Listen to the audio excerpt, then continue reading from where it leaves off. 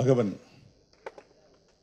இசை வெளியிட்டு வந்திருக்கிற நண்பர்களே சகோதர சகோதரிகளே மேடையில் வீட்டிற்கும் என்னுடைய திரையுலக குடும்பத்தினர்களே மற்றும் பாசமிகு பத்திரிகை நண்பர்களே இணையதள வலைத்தள சகோதர சகோதரிகளே உங்கள் அனைவருக்கும் எனது காலை வணக்கம். இந்த படத்துக்கும் எனக்கும் துளியளவும் சம்மந்தம் கிடையாது. இதில் உள்ள இயக்குனர்களோ இதில் நடித்திருக்கிற புது ஹீரோவோ யாரையுமே எனக்கு தெரியாது. இந்த விழாவிற்கு வந்த முக்கிய நோக்கம் ஒரு நண்பரின் அழைப்பு அவர் பேர் சாதிக். நண்பன் சொன்னால் தட்ட முடியாது அப்படிங்கிற ஒரு விஷயம். இன்னொரு விஷயம் ஒரு புது கதாநாயகனை அறிமுகப்படுத்தும் போது நாம் என்ன செய்தோம் அப்படிங்கிற ஒரு சின்ன பங்களிப்பு நம்ம வாழ்த்தாவது இருக்கட்டும் அப்படிங்கிற ஒரு நல்ல எண்ணத்தில் தான் வந்தேன். ஏன்னா நடிகர் ஜீவாவை நான் அறிமுகப்படுத்தும் போது இதே சத்தியம் தேட்டர் இதே அரங்கில் அவர் அறிமுகப்படுத்தினோம். அங்கே ஏகப்பட்ட பேர் வாழ்த்துனாங்க. ஏன்னா அவர் ஆர்பி சௌத்ரி சாருடைய சன் அவர் திரையுலகமே திரண்டு வந்து அவர் வாழ்த்துனாங்க. அந்த வாழ்த்துதலுக்கு அவர் இன்னைக்கு பெரிய ஒரு ஹீரோ ஆகிட்டார் ரொம்ப சந்தோஷம். ஆனால் கிஷோர் ரவிச்சந்திரன் வந்து அவ்வளோ திரையுலகத்துக்கு எவ்வளோ பெரிய ஆளுன்னு அவங்க தெரியாது. ஸோ நம்மளை மாதிரி ஒரு எளிமையான கலைஞர் வந்து வாழ்த்துறது நம்முடைய கடமைக்கிறதா வந்தேன். ஒரு முக்கியமான ஒரு வாழ்த்தா வந்து மாஸ்டர்ஜி லாரன்ஸ் மாஸ்டர் வந்து ஒரு மிகப்பெரிய ஒரு ஆன்மீகவாதி. ஒரு அறக்கட்டளை நடத்தி இன்னைக்கு வந்து சமுதாயத்தையே தன் பக்கம் இழுத்திருக்கிற ஒரு மாபெரும் கலைஞர். அவர் என்னுடைய ஃபஸ்ட்டு படத்துக்கு டான்ஸ் மாஸ்டர் இருந்திருக்காங்க. பல நாள் நட்பு தொடர்ந்துருக்கு. ஆனால் மாஸ்டருக்குள்ளே இவ்வளோ பெரிய ஆன்மீக உள்ளிருப்பு இருக்குமாங்கிறது நான் வந்து நினச்சி கூட என்றைக்குமே பார்த்ததில்லை. அந்த மாபெரும் நடன கலைஞனுக்குள்ளே வந்து சிவதாண்டம் இருக்குங்கிறத நான் ரீசெண்ட் டேஸில் நிறைய படங்களில் பார்த்துருக்கோம். அவருடைய செயல்லையும் அது தெரியுது. அதற்கு ஏற்றாற்போல் அகவன் உள்ளிருப்பவனுங்கிற படம் வந்து எனக்கு தெரிஞ்சு இது ஒரு ஆன்மீகம் கலந்து ஒரு படமாக இருக்கும்னு நினைக்கிறேன். ட்ரெய்லர்லாம் பார்க்கல. இந்த படத்துக்கு வந்து வாழ்த்துறது உண்மையிலேயே மாஸ்டருக்கு நான் இந்த மாஸ்டர் இந்த மாதிரி இடத்துல மீட் பண்ணது எனக்கு சொந்த சந்தோஷம். ரொம்ப நாளாச்சு நிறைய இடங்களில் மீட் பண்ணி. அப்புறம் அன்பண்ணேன். தமிழ் திரையுலகத்தில் வந்து இன்றைக்கி பல படங்கள் அவர் இல்லாமல் நடைபெறவில்லை. அதற்கு எல்லார் சார்பையும் அவருக்கு நான் நன்றி தெரிவிச்சுக்கிறேன். அப்புறம் திரைக்கதை மேதை நம்முடைய பாக்யராஜ் சார். நான் சார்ட்ட ஒர்க் பண்ணல. ஆனால் எஜே சூர்யா சார் என்னுடைய குரு. எஜே சூர்யா சார் யார்ட்ட ஒர்க் பண்ணார் அப்படின்னா பாரதிராஜ் சார் சார்ட்ட ஒர்க் பண்ணார். பாரதிராஜ் சார் யார் ஒர்க் பண்ணார்னா பாக்யராஜ் சார் ஒர்க் பண்ணார். இப்படி ஒரு பெரிய ஒரு டீம் வந்து எங்களுக்கு எல்லாமே ஒரு கிட்டத்தட்ட எனக்கு ஒரு முப்பது குரு இந்த சினிமாவில். அதில் பாக்யராஜ் சார் ஒரு குரு. இவங்க எல்லாருமே வந்து இந்த அகவன் படத்தை வாழ்த்துறது ரொம்ப சந்தோஷமாக இருக்குது இயக்குனர் ஏழுமலை ஒரு முதல் படம் எடுக்கும்போது உங்களுக்கு ஏகப்பட்ட டவுட் வந்திருக்கும். ஒரு புது ஹீரோ வச்சு போ போகிறோமே ஓப்பனிங் இருக்குமா நமக்கு லைஃப் கிடைக்குமா என்ன நடக்கும்னு தெரியலையேங்கிற குழப்பத்திலேயே நீங்கள் பண்ணியிருப்பீங்க ஆனால் ஒன்று மட்டும் நிச்சயம் சினிமாவை நேசித்தவர்களை சினிமா ஒருபோதும் கைவிட்டது கிடையாது. சினிமாவை காதலித்தவர்களை சினிமா ஒருபோதும் கைவிட்டது கிடையாது. இந்த அகவன் படம் உங்களுக்கு ஒரு மிகப்பெரிய திருப்புனை படமாக இருக்கும்.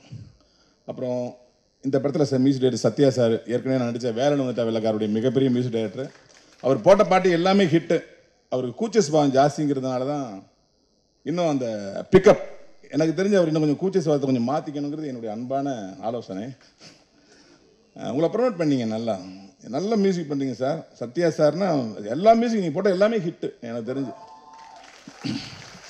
இந்த பாட்டும் ஹிட்டாகவும் நம்புகிறேன் அப்புறம் புதுமுக நடிகர் மிஸ்டர் கிஷோர் ரவிச்சந்திரன் நான் சொல்ல ஒரு விஷயம் என்னன்னா நீங்கள் உண்மையிலேயே ஒரு ஹேண்ட்ஸமான ஹீரோவாக தான் இருக்கீங்க. உங்களை பார்த்தா தான் பார்த்தா பிடிக்காது பார்க்க பார்க்க பிடிங்கிற லிஸ்ட்டில் நீங்கள் இல்லை. ரொம்ப ஒரு அழகான ஹீரோவாக இருக்கீங்க. உங்களோட நிறைய குழப்பம் வந்திருக்கலாம். இங்கே வந்து இப்படி நடிக்கக்கூடாது அப்படி நடிக்கக்கூடாது. சட்டில் பெர்ஃபார்மன்ஸ்னு ஒன்று கண்டுபிடிச்சிருக்காங்க நம்ம ஊரில். அப்படி நடித்தாதான் சிறந்த நடிப்புன்னு ஒரு சில பல இயக்குனர்கள் சொல் சொல்லிகிட்டு இருக்காங்க அவங்க சொல்கிறது அவங்க ரூமுக்குள்ளே ஒரு ஃப்ரெண்ட்ஸ் சர்க்கிளில் பேசிக்கலாம் அது ஒரு தவறு கிடையாது. இப்போ ரீசெண்ட் டேஸில் பேரன்புன்னு படத்தில் ஒரு இயக்குனர் பேசினார். அந்த படத்துடைய ஹீரோ மம்முட்டி சாரை விட்டு அவ்வளோ அற்புதமாக நடிச்சிருந்தார். ரொம்ப யதார்த்தமாக நடிச்சிருந்தார் மம்முட்டி சார் ஒரு தேசிய விருது பெற்ற கலைஞர். அவரை பாராட்டியதில் மிக தவறே கிடையாது. அதே சமயத்தில் அவர் அடுத்த ஒரு வார்த்தை சொன்னார். மம்முட்டி சாரை விட்டு இங்கே உள்ளவங்க யாராவது நடிகர் போட்டிருந்தா நடிச்சிருப்பாங்க அப்படின்னாரு வார்த்தை. நடிச்சிருப்பாங்கன்னா பாருங்க. நடிச்சிருப்பாங்க அப்படின்னாரு. அப்போது மாபெரும் கலைஞன் மம்முட்டியை நீங்கள் பாராட்டுறது தவறில்லை. இங்கே உள்ள தமிழ் ஹீரோக்களை ஹீ- தமிழ் நடிகர்கள் நடிச்சிருப்பாங்கன்னு இவ்வளவு சுமாரான ஒரு கேவலமார்த்த வார்த்தை பேசும்பொழுது நீங்கள் இயக்கிய அத்தனை படத்துலையும் அந்த தமிழ் நடிகர்கள் தான் நடித்தாங்க உங்களுக்கு ஒரு மிகப்பெரிய டேரக்டர் அந்தஸ்தை வாங்கி கொடுத்தாங்க. பொருளாதார வசதியை கூட்டி கொடுத்தாங்க அந்த தமிழ் நடிகர்கள் தான். அதை தமிழ் எடுத்து கேவலப்படுத்தாதீங்க தயவுசெய்து. ஒரு பிற மாநில பிற மாநில கலைஞரை வந்து பாராட்டுறது தவறே கிடையாது. ஆனால் பிறரை பாராட்டும் போது வீட்டுக்குள் இருப்பதை அசிங்கப்படுத்தக்கூடாது. இது கூட்டு குடும்பம். இது ஒரு மிகப்பெரிய கூட்டு குடும்பம். இங்கே செட்டில் பெர்ஃபார்மன்ஸ் சொன்னால மிஸ்டர் கிஷோர். ஒரு சின்ன விஷயம். ஃபாரின்லாம் பக்கத்து அந்த ஒரு நாலு ரூம் தள்ளி இருக்கிற டாக்டரை கூப்பிடும்போது hi Mary come here okay that I came இதுதான் வாய்ஸ் நம்ம ஊரில் அப்படியே கூப்பிட்றோம். ஏ முடியுமா? வாரி